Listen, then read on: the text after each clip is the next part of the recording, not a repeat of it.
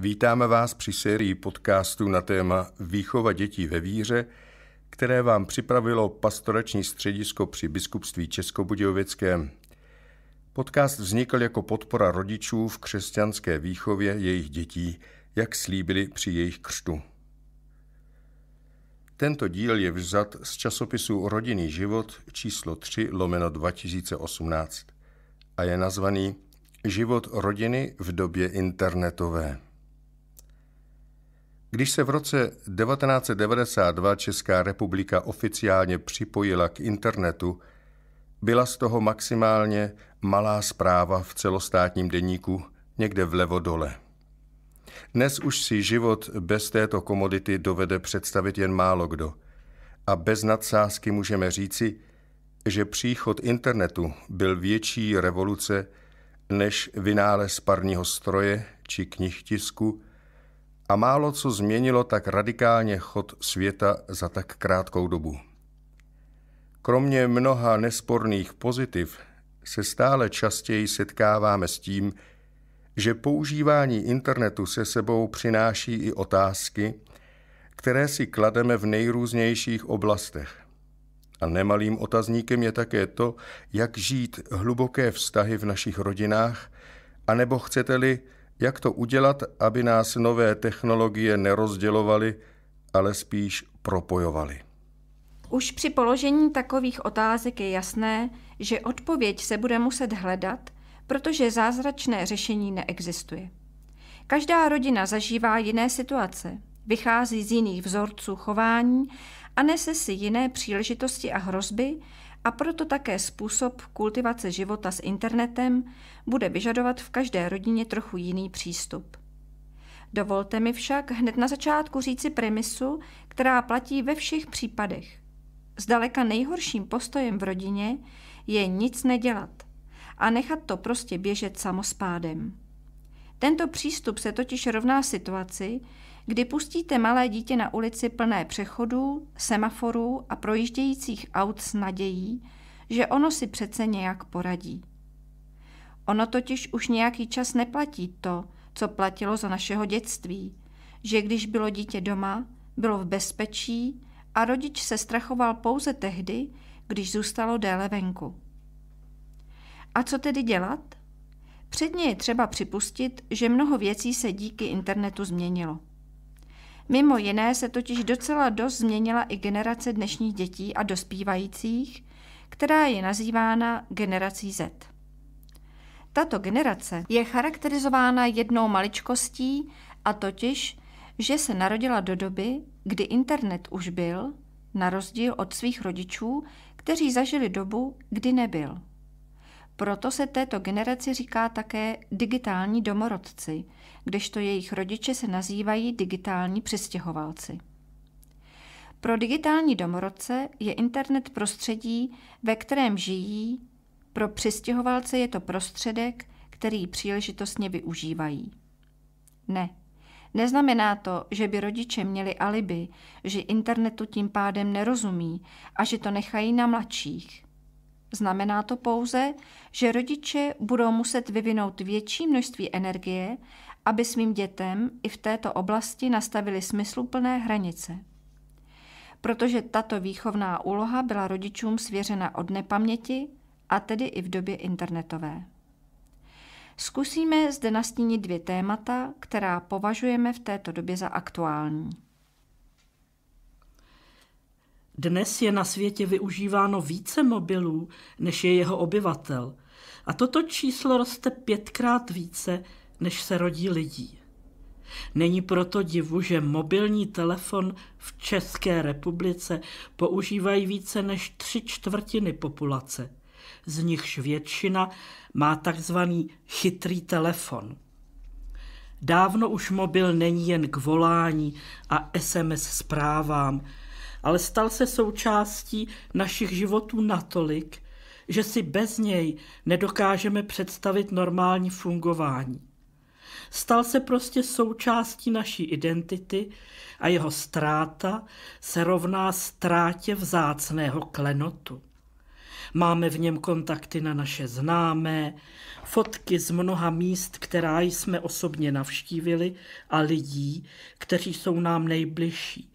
Vyzvánění, která odhalují něco z našeho charakteru, poznámky, bez kterých se už neobejdeme, hudbu, která je nám milá, a mnoho dalších, někdy velmi intimních materiálů, které jsme si za léta do svého mobilu nastřádali.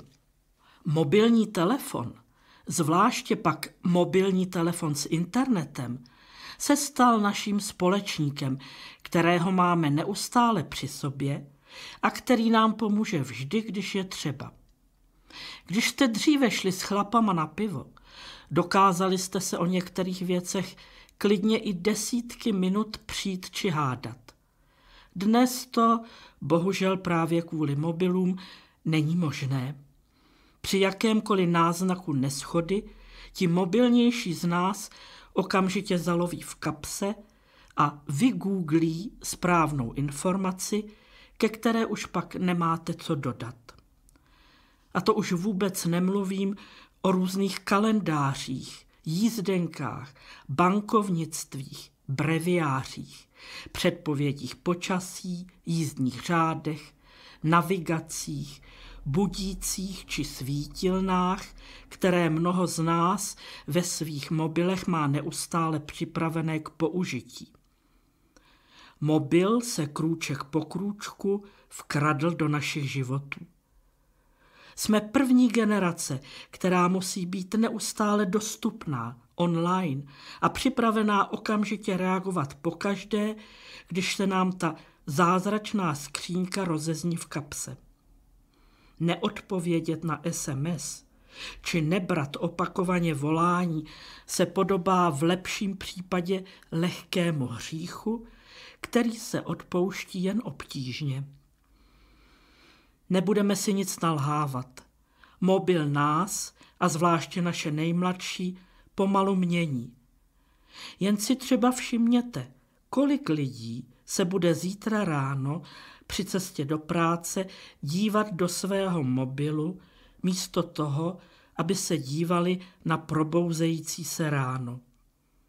Kolik lidí vezme svůj zvonící telefon bez ohledu na to, že zrovna s vámi osobně, tedy tváří v tvář, probírají důležité téma. Kolik lidí se při chvilce čekání, a tedy prostoru věci promýšlet, uchýlí automaticky k obrazovce svého mobilu, protože se cítí nepatřičně. Průměrný mladý člověk se denně podívá a někdy jen tak bezmyšlenkovitě na svůj mobil 150krát. Je to pro něj okno do světa a most s jeho vrstevníky.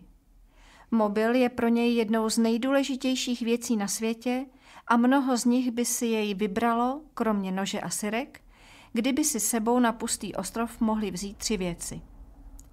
Proto po něm touží a proto jej svírají jako drahocený poklad pokaždé, když jim to dospělí dovolí.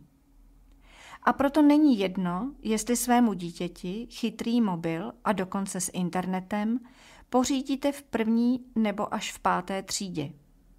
Není jedno, co vaše děti na mobilu dlouhé hodiny dělají, hlavně, že dají pokoj. A není jedno, že si myslíme, že si jenom hrají na svém mobilu doma v pokojíčku a jsou tedy v bezpečí. Úkolem rodičů je, jak už bylo řečeno, stanovovat hranice.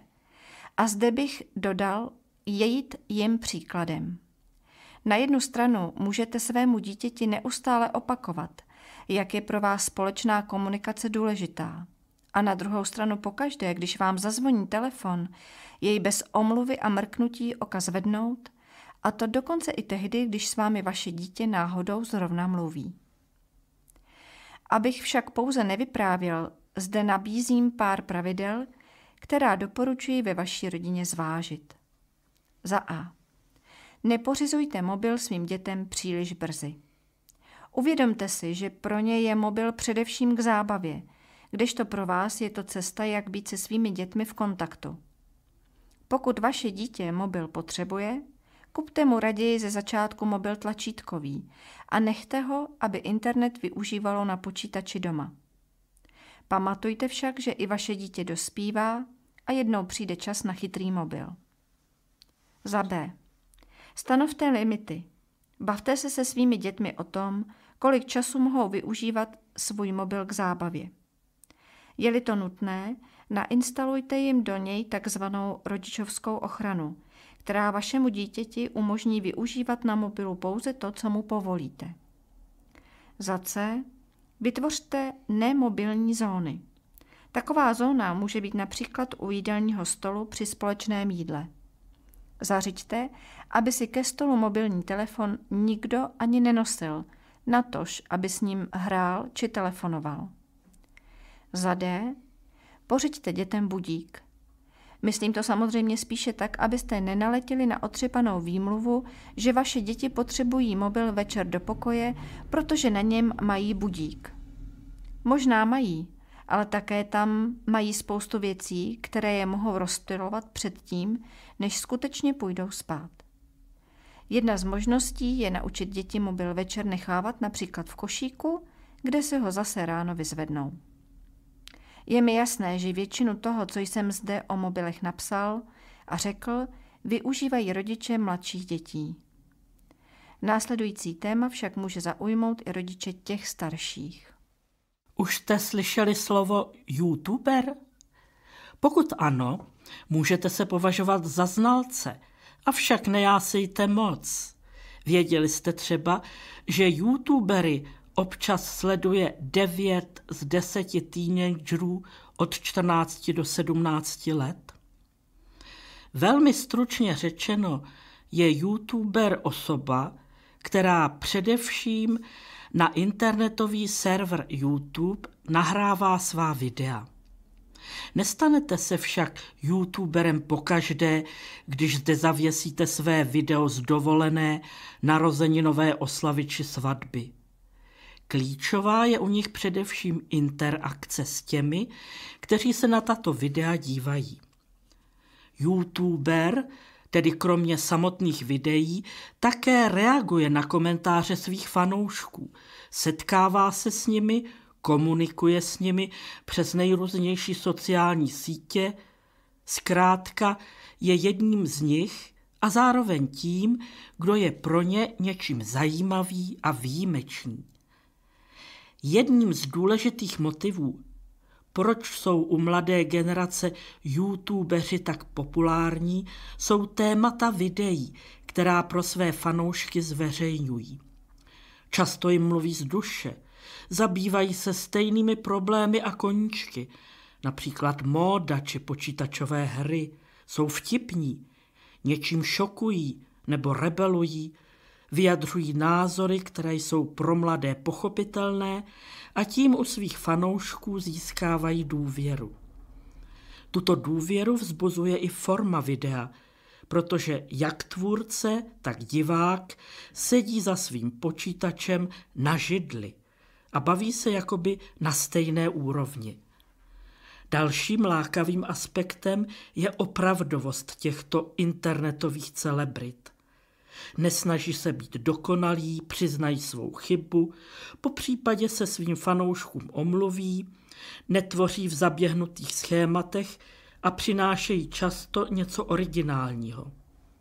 Všechny tyto aspekty jsou v kontrastu s klasickou televizní tvorbou, která vždy hledá dokonalý záběr bez sebe menších chybiček, nalíčené herce a perfektně nacvičené dialogy. Jedním ze základních úkolů dospívání je také osamostatňování se od tradičních autorit a hledání vlastní cesty.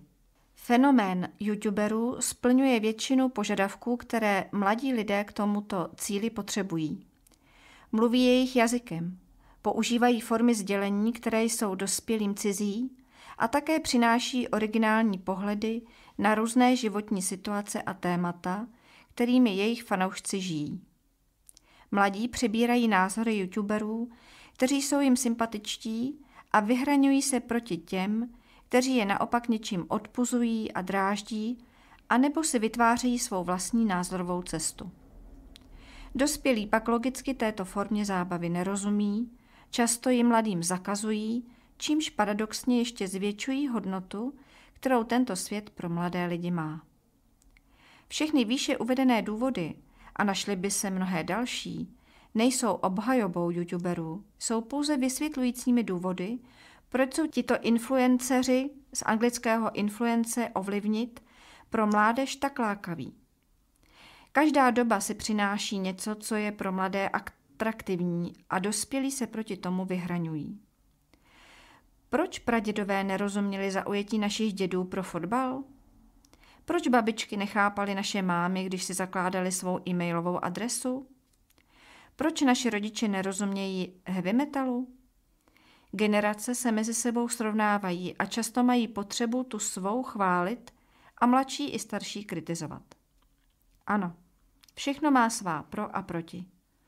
Také mezi youtubery jsou ti, kteří produkují nízkou a často degradující zábavu, ale jsou mezi nimi také velmi zajímaví lidé, kteří touto formou přináší zajímavá témata a otázky, jež mohou jiným divákům otevřít nové obzory. Jde o to, podívat se na věc reálnýma očima, ocenit to pozitivní a vyvarovat se toho negativního. Jisté je, že youtuberství je novou formou komunikace mladé generace, která má svoji logiku. Rodiče by samozřejmě neměli zůstat mimo hru. Měli by se naopak o tyto věci zajímat, ptát se svých dětí a nechat je, aby je do této zábavy uváděli. Nejde o to stát se divákem youtuberů.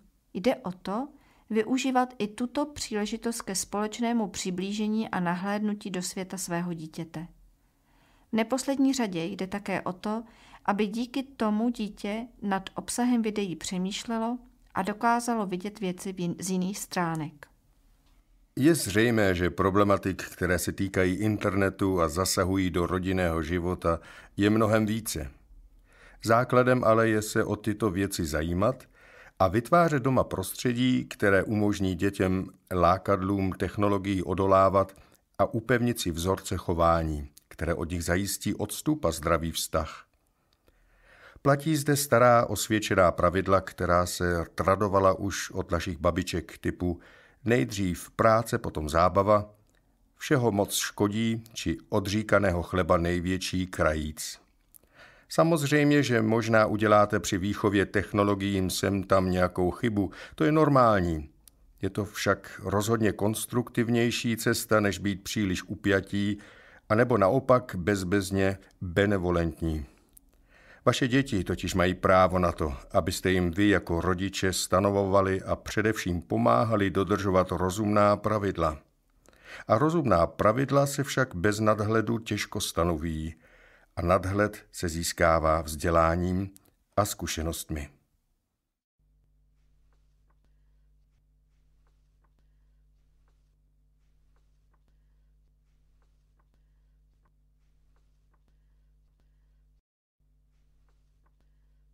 Líbí se vám naše pořady? Staňte se odběratelem a sdílejte je s vašimi přáteli. Jak nám dál můžete pomoci, najdete na webu podpořte nás.online. Děkujeme za vaši přízeň.